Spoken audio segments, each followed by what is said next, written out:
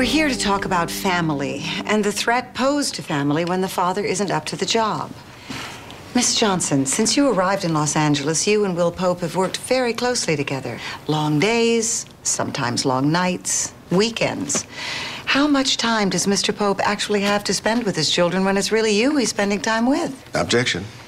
On what grounds? Your question is argumentative, harassing, and ends with a preposition. Kindly rephrase. This is ridiculous, Tom. Chief We're Pope try- and I are not having an affair. Excuse me, Miss Johnson. Will you kindly refrain from speaking? Now, Barbara, if you're going to pursue this line of questioning, I would remind you that Chief Pope didn't leave his first wife for Miss Johnson. He left her for Estelle. And unlike the future ex Mrs. Pope, whose infidelity brings us here in the first place, Miss Johnson has never broken a vow of marriage. So any attempt by your client to besmirch Deputy Chief Johnson's reputation will be considered harassment and grounds for a very long, expensive, and embarrassing lawsuit, during which I will drag your client into court and we can examine Estelle Pope's adulterous behavior with vigorous attention to detail. Are you getting all this? Now, as it regards the um, best interests of the children, my client has already testified as to Mr. Pope's fitness as a father.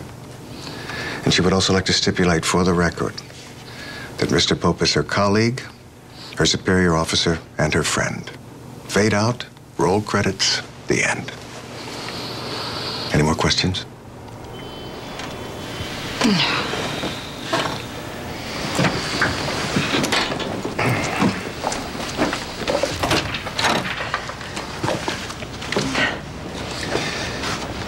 That went well.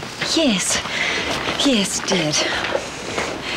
So, now that it's all over, You'd like to know what the gift was. yes, I, I would, if that's okay. It's not.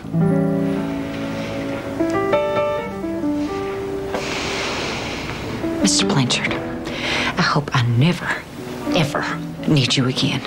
Oh. I hope you do.